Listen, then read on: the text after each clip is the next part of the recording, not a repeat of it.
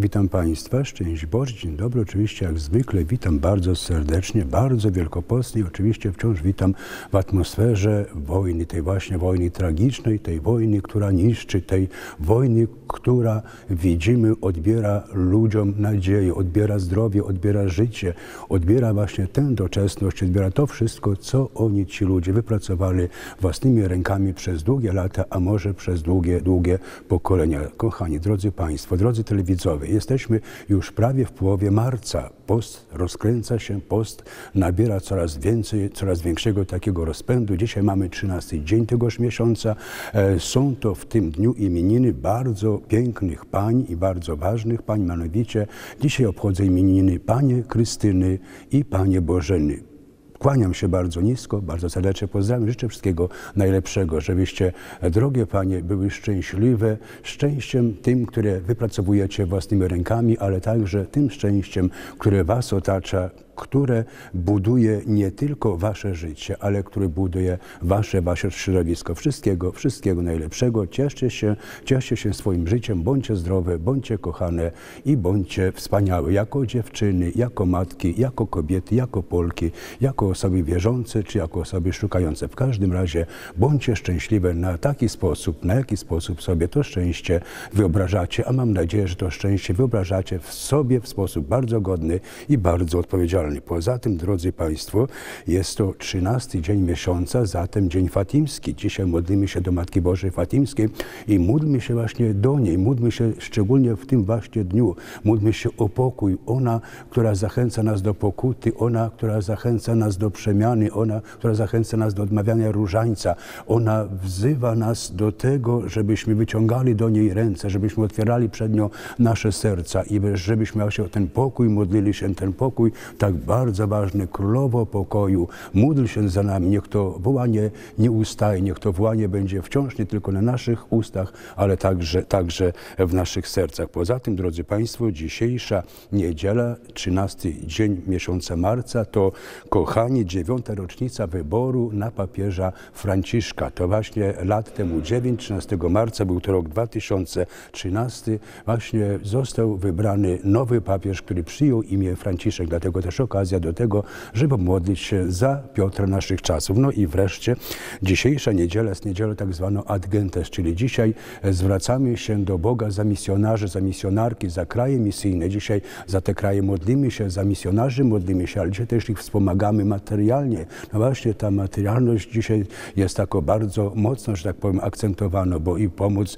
Ukraińcom, i, i pomóc misjonarzom, i jeszcze tam jeszcze inne pomoce, no ale takie jest nasze życie, kochani, że ktoś zawsze od nas czegoś oczekuje i my też zawsze od kogoś czegoś oczekujemy. To działa w obie strony, prawda? To nie tak, że tylko my dajemy. Nam też ktoś daje, więc ta wymiana taka wzajemna i to nas niech cieszy, że ktoś nas o coś prosi i że my też kogoś o coś, o coś prosimy. Dlatego ta dzisiejsza nasza modlitwa niech będzie modlitwą nie tylko za Ukraińców, nie tylko o pokój, ale także za misjonarzy, za misjonarki, za osoby świeckie, za osoby duchowne, a zwłaszcza za te narody i za te ludy, którym misjonarze czy misjonarki posługują. Drodzy Państwo, jak powiedziałem, bohaterowie e, Wielkiego Postu są te trzy słowa. Modlitwa, post i jałmużna. Pan redaktor raczy pokazać. Modlitwa, post i jałmużna. Dzisiaj zwracam uwagę mocno na słowo post. Co to jest post? To jest rezygnacja. My rezygnujemy z czegoś, ale nie dlatego, że nie mamy na przykład co jeść, więc rezygnujemy z jedzenia. Nie dlatego, że nie lubimy tańczyć, więc rezygnujemy z tańca. Rezygnujemy e, dlatego, że Chrystus tego od nas oczekuje. Ja mam co jeść, prawda? Ja potrafię tańczyć, ale ze względu na Chrystusa cierpiącego rezygnuję z tego. Rezygnuję z jedzenia. Na przykład środa popielcowa jedliśmy tylko raz dosyta, może ktoś pozostał chlebie o wodzie.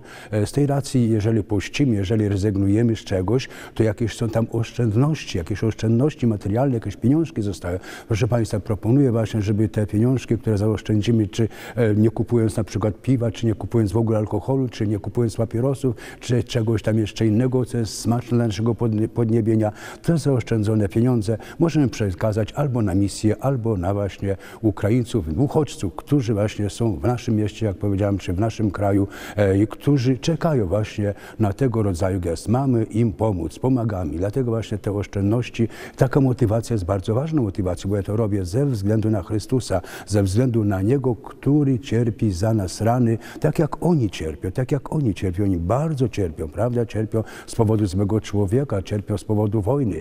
My właśnie poprzez taką pomoc wychodzimy naprzeciw tym ludziom, żeby to cierpienie było cierpieniem mniejszym, żeby było takim cierpieniem wyłagodzonym. Kochani, gdy będziemy, bądź też gdy byliśmy w kościele, właśnie dzisiaj druga niedziela Wielkiego Postu, to usłyszymy, ewentualnie usłyszeliśmy słowa Ewangelii według świętego Łukasza. Jezus wziął ze sobą Jakuba, Piotra i Jana, wyszedł na górę, aby modlić się. Gdy modlił się, wygląd jego twarzy odmienił się, a jego odzienie stało się lśniąco białe, a oto dwóch mężów rozmawiało z nim, byli to Mojżesz i Eliasz. Ukazali się oni w chwale mówili o jego odejściu, którego miał dopełnić w Jeruzalem.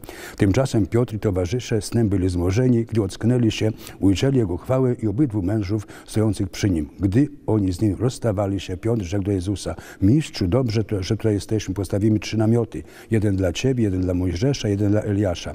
Nie wiedział bowiem, co mówi, gdy jeszcze to mówił, pojawił się obok i osłonił ich. Zlękli się, gdy weszli w obłok, a z oboku odezwał się głos, to jest mój syn, wybrany Jego słuchajcie. W chwili, gdy odezwał się ten głos, okazało się, że Jezus jest sam. A oni zachowali milczenie i w owym czasie nikomu nic nie opowiedzieli o tym, co widzieli. Drodzy Państwo, drodzy telewidzowie, właśnie Chrystus przemienia się, Chrystus przemieniony wzywa nas do przemiany. My mamy przemieniać swoje życie. Wielki post jest po to, żebyśmy walczyli ze złościami, różnego rodzaju złościami, różnego rodzaju grzechami w naszym życiu, żebyśmy to zło wyrywali, żebyśmy nie dali się zwyciężyć złu, mówiąc językiem świętego Pawła, ale żebyśmy to zło dobrym zwyciężali. Czas Wielkiego Postu jest właśnie czasem danym po to, żebyśmy nie dali się zwyciężyć złu, a to zło krąży wokół nas, to zło nas atakuje. My e, wiemy o tym doskonale, bo jesteśmy przez to zło atakowani. Co gorsza, że to zło nieraz przybiera taki cudowny wygląd, taki prowokacyjny wygląd, prawda, i kusi nas. Nie dajmy się zwariować, naprawdę nie dajmy się zwariować. Chrystus wzywa nas do przemiany. Przemieniajmy swoje życie, stawajmy się coraz lepszymi ludźmi, coraz lepszymi księżmi, coraz lepszymi osobami świeckimi, coraz lepszymi ludźmi współczesnego świata początku wieku XXI. Róbmy wszystko, żeby było jak najwięcej pokoju i w naszych sercach, i w naszym życiu, i w naszym kochanym kraju, i we współczesnym świecie. Królowo pokoju, módl się za nami, który za nas cierpiał rany.